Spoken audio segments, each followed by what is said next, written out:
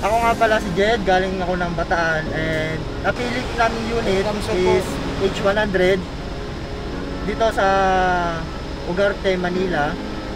Recommended siya tapos maganda. Nagtingin-tingin kami ng unit pero pang negosyo eh. Kaya ito yung napili namin. Salamat Ugarte. Thank you.